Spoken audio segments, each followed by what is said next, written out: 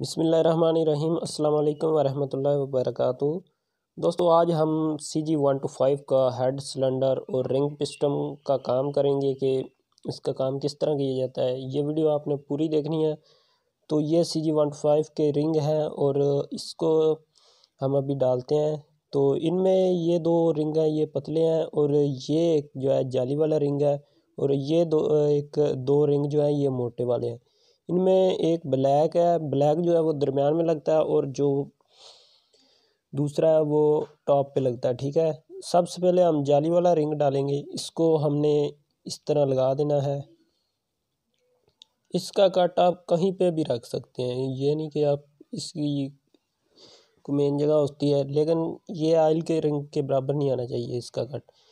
तो ये एक रिंग है, इसको अभी हम लगा रहे हैं, इन वाली साइड से जो निशा, नुक्ता होल आपको नज़र आ रहा है। होल के ये थोड़ा सा इस तरफ़ आपने रखना है और दूसरा इसके मुखालफ रखना है इनके नीचे वाली साइड पे। ये देखें, यहाँ पे आ जाएगा इनके, इस साइड पे आ जाएगा इसके जो इधर होल आपको नज़र आ रहा है, होल से थोड़ा सा आपने इसको आगे पीछे कर देना है, ठीक है? तो इसको इस तरह आपने लगा देना है। ये आयल वाले रिंग इसके डाल चुके हैं और अभी दोस्तों हम इसका ये लगाएँगे रिंग। ये इसके प्रेशर के दो रिंग होते हैं, इनको लगाते हैं। सबसे पहले आपने ब्लैक वाला लगाना है और इसके ऊपर जो लिखाई वाली साइड होती है, वो आपने टॉप वाली साइड पे रखनी है, क्योंकि वो उसका सिलेंडर के हिसाब से रिंग का कट बना होता है तो उसके हिसाब से चलता है। जब आप इसकी लिखाई को उल्टा कर दोगे तो सिलेंडर के अंदर जरी लगने का खतरा होता है। तो बेहतर यही है कि आप इसको निशा, जो इसके ऊपर लिखा हुआ है, इसको टॉप की तरफ़ रखें। तो ये इसका लास्ट वाला रिंग है, इसको बिल्कुल इनके बराबर आपने रखना है। और जो आपको होल नज़र आ रहा है, होल के सामने किसी भी रिंग का काट नहीं आना चाहिए, क्योंकि उनमें आयल आता है। आयल जब जो है, रिंग के काट से गुजरेगा तो बाइक जो है धुआँ देने लग जाएगा तो अभी हम ये बाइक को यहाँ पे इसका पिस्टम लगा देते हैं। इन वाली साइड आपने कार्बोरेटर की तरफ़ रखनी है और दूसरी साइड आपने सलेंसर की तरफ़ रखनी है। तो ये इस तरह आपने लगाना है। इसके बाद दोस्तों इसकी ये एक पिन है। पिन को आपने यहाँ पे लगा देना है। तो इसको मैं आयल लगाता हूँ। आयल लगा के हम इसको लगा देते हैं। तो अभी मैं इसको आयल लगा रहा हूँ। इसको आयल लगा चुका हूँ दोस्तों। इसको अभी हम यहाँ पे फिट कर देते हैं। ये आराम सुकून से चली जाएगी। आपने इसको चोट वगैरह नहीं लगानी। ये नोज़ प्लासी से आपने पकड़ के इसको घुमाना है, घुमाएँगे तो ये देखें, ये इजीली चली गई है तो ये देखें जी, ये बहुत ईजी चली जाती है। और इसमें जो मसले आते हैं, वो भी मैं आपको बताऊँगा कि कहाँ पे जो है मसला आपको आ सकता है। तो आपने वीडियो को पूरा देखना है, ठीक है? तो अभी हम इसका दोस्तों ये लाग लगाते हैं तो लाग लगाने से पहले आपने नीचे कपड़ा रखना है। मैं वैसे ही लगा रहा हूँ, ये देख सकते हैं, इस तरह आपने लगा लेना है। तो मैंने कपड़ा नहीं रखा हुआ, आप कपड़ा रख के लगा सकते हैं, ठीक है? तो ये अभी इसका सिलेंडर का जैन है, सिलेंडर के जैन को भी आपने लगा देना है। सबसे पहले इसके ऊपर दोस्तों समाध लगाएँगे हम। तो इसकी समाध लगाने के बाद हम इसको फिट कर देंगे। सिलिकॉन से स्मद बेस्ट है, ये लगा करें आप, हम भी स्मद ही लगाते हैं। तो इस जैन को आपने इस तरीके से रखना है कि ये जो ऑयल पंप वाली साइड का होता है, ये आपने उधर रखना है। इसके बाद दोस्तों, इसकी डावल जो है, वो भी लगानी लाजमी है। सिलेंडर की आमने सामने होती है और हेड की, सिलेंडर की ऊपर नीचे और हेड की आमने सामने, ठीक है? यानी एक, जो जिधर कैम गरारी लगती है, इधर ही दोनों इसकी लगेंगी, ठीक है? उसके बाद जी हम इसका सिलेंडर फिट कर रहे हैं। तो अभी हम इसको सिलेंडर को आराम से फिट कर देंगे पिस्टन के ऊपर। दोस्तों, यहाँ पे आपने एक एहतियात करनी है कि जो आप पिस्टम सिलेंडर के अंदर डाल रहे हैं, कहीं पे रिंग जो है इसका बाहर ना निकल जाए। अगर रिंग बाहर निकल जाएगा तो सिलेंडर के अंदर जो है वो खराशें पैदा कर देगा, जिससे आपका मोटरसाइकिल धुआँ भी दे सकता है और पिस्टम आवाज़ भी कर सकता है। तो अभी हमने दोस्तों इसका पिस्टम जो है, इसके अंदर फिट कर लिया है। जैसा कि आप दोस्तों को मालूम है, ये देखें जी, ये आपने इस तरह इसको नीचे लेके जाना है। नीचे ले जाने के बाद दोस्तों, यहाँ पे आपने इसको ऐसे फिट कर देना है। इसके ऊपर हम कोई हल्की सी चोट लगाएँगे। या आप कोई लकड़ी की चीज़ से इसको चोट लगा लें तो वो बेस्ट होगा। ठीक है? तो ये सिलेंडर अभी इसका बैठ चुका है क्योंकि डाबल जो है उनमें ये फिक्स हो जाता है। ठीक है? अगर डाबल नहीं लगाएँगे, ये वैसे ही बैठ जाएगा, कोई मसला नहीं।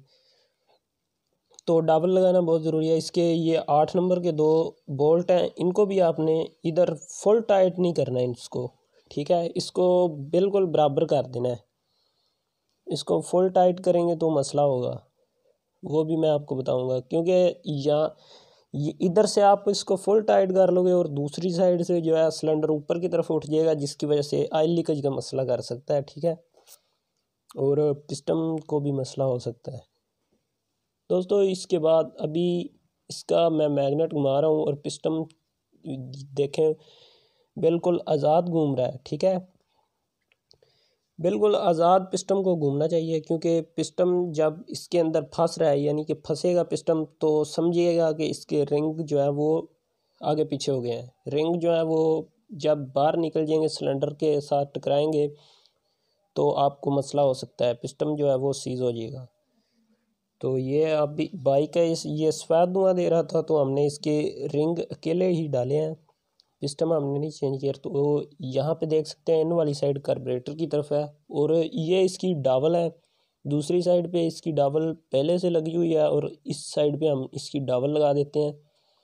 ये देख लें, एक इसकी सलेंसर वाली, एक कार्बोरेटर वाली साइड पे लगेगी, और दूसरी इसकी मैग्नेट वाली साइड पे फ्रंट पे लगेगी, ठीक है? तो दोस्तों, ये देखें, पिस्टम अभी बिल्कुल टॉप पे हमने कर लिया है और ये इसकी गैसकेट है, इसको भी हम लगाते हैं समद। इसको दोस्तों हमने समद लगा के इसको भी हमने फिट कर देना, ठीक है? तो हमें, हमारे चैनल को सब्सक्राइब लाजमी करें और कोई मसला हो तो व्हाट्सअप पे हमसे रबता आप कर सकते हैं। हम नंबर इसी वीडियो के अंदर दे देंगे आपको। तो दोस्तों, ये देखें, इसकी गैसकिट को हमने समाद लगा दी है। समाद लगा के हम इसको भी फिट कर देते हैं। इसको बिल्कुल इस समाद जो है वो हर जगह पे बिल्कुल सही लगनी चाहिए। ये नहीं कि एक जगह पे ज़्यादा लगी है, एक पे कम लगी है तो फिर जो है वो लीकेज का मसला भी हो सकता है। तो बेहतर यही है कि आप सब जगह पे एक जैसी लगाएँगे अभी ये इसका हेड है हेड में वाल जो है, इसके वो ही हैं जो पहले लगे हुए थे। हमने वाल जो है वो चेंज नहीं किए सिर्फ़ इसके हमने रिंग डाले हैं और कोई काम नहीं इसका किया। तो इनशाला ये बाइक जो है, धुआँ इसका ख़त्म हो जाएगा, ये आप देख सकते हैं। दोस्तों, ये हेड जो है, इसका बैठ चुका है। हेड को बिठाने के बाद हम इसके ऊपर हल्की हल्की चोट लगाएँगे। ताकि हेड जो है डबल के अंदर सही तरह बैठ जाए। दोस्तों, इसके बाद जी इसका एक लंबा बोल्ट होता है, ये वाला। ये आपने यहाँ पे लगा देना है, बारह नंबर का होता है। इसको आपने फुल टाइट नहीं करना, इसको भी, ठीक है? जिस तरह हमने नीचे वाले आठ नंबर के फुल टाइट नहीं किया इसको भी फुल टाइट नहीं करना। इसको बस पूरा सूरा सा टाइट कर देना है, जिसे कहते हैं तो यहाँ पे ये ज़ोर लेने लग जाए, वहाँ पे आपने इसको छोड़ देना है एक बार। इसको जब हम हेड सिलेंडर के ये चार बोल्ट लगाएँगे तो तब हम इसको फिट कर दें तो दोस्तों, ये देखें जी, अभी इसके चारों बोल्ट के अंदर वाशल लाजमी लगाएँ। वाशल लगाना बहुत ज़रूरी है, क्योंकि वाशल नहीं लगाएँगे तो हेड के फिर हेड जो है वो ख़राब होने का भी ख़तरा होता है। तो ये देखें जी, चारों बोल्ट दो इसके सलेंसर वाली साइड पे लगेंगे, दो मैग्नेट टॉप पे, मैग्नेट की साइड पे लगेंगे। और इसको बारह नंबर के टी राड की मदद से हम टाइट कर रहे हैं। जो इसके सलेंसर वाली साइड पे है, उनको हम बारह नंबर के टी राड की मदद से टाइट कर रहे हैं। और जो इस साइड पे लगे हुए हैं, उनको हम गोटी की मदद से टाइट करेंगे। क्योंकि इधर जो है, वो टी राड नहीं लगता, क्योंकि ऊपर बॉडी होती है, बॉडी की वजह से रॉड जो है इधर नहीं लगेगा। ये अभी हमने गोटी की मदद से, इनको पहले हाथ की मदद से टाइट करना है। फिर हम इसको करेंगे रॉड की मदद से टाइट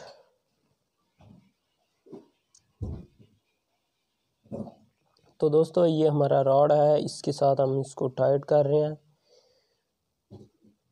गोटी रॉड की मदद से इसको बारह नंबर की गोटी है, ठीक है? ये बाद में आप कमेंट में पूछते हैं कुछ लोग कि यार कौन सी गोटी यूज़ कर रही आपने? तो ये बारह नंबर की गोटी है। तो इसको आपने फुल ज़ोर लगा के टाइट करने जो बहुत टाइट होते हैं, ठीक है? ये लूज़ नहीं होने चाहिए। लूज़ होंगे आयल लीकेज का भी मसला हो सकता है।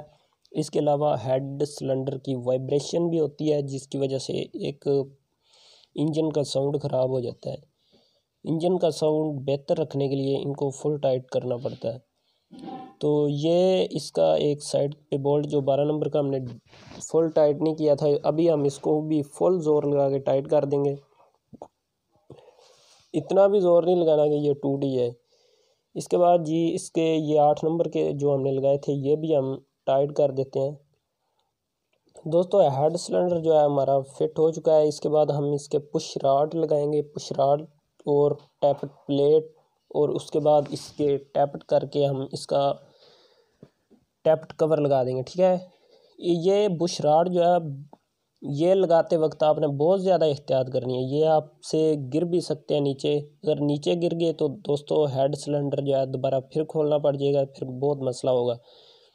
तो आपने इनको बड़े ही आराम सुकून से, हाथ से पकड़ के जहाँ पे इसका रॉकर है, वहाँ पे आपने इसको लगा देना है। वरना ये नीचे गिर गया तो मसला करेगा आपको।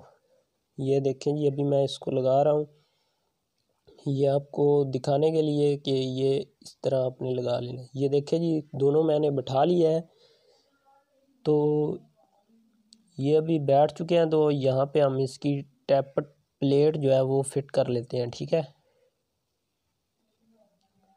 ये आपने टैप्ड प्लेट लगाते वक्त भी आपने एहतियात करनी है कि ये गिर ना जाए।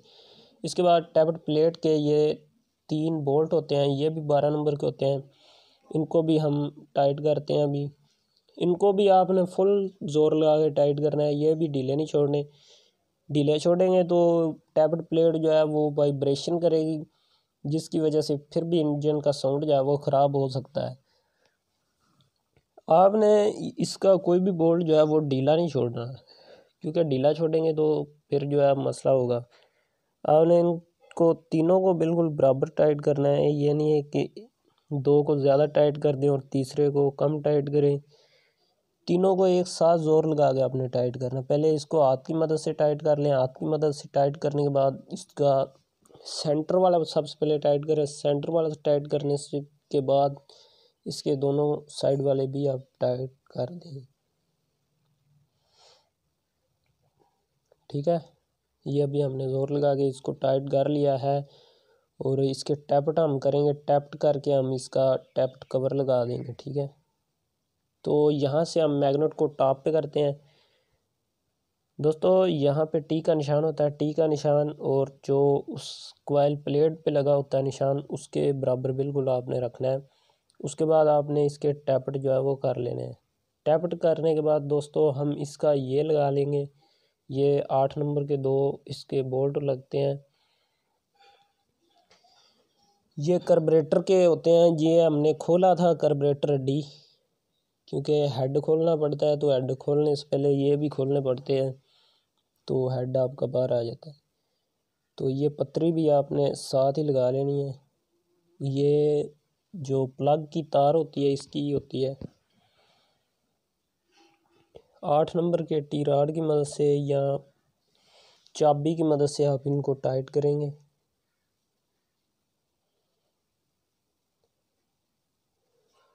तो दोस्तों, इसको हमने अभी टाइट कर लेना है फुल टाइट कर लेना है। और इसका टैप्ट कवर लगा के इसको अंदर आयल डाल के इंजन के अंदर तो इसको स्टार्ट करेंगे। तो बस यही इसका काम था। उम्मीद है कि आपको आज की हमारी वीडियो पसंद आई होगी। वीडियो पसंद आई तो वीडियो को लाइक करें और चैनल को सब्सक्राइब करें। मिलते हैं।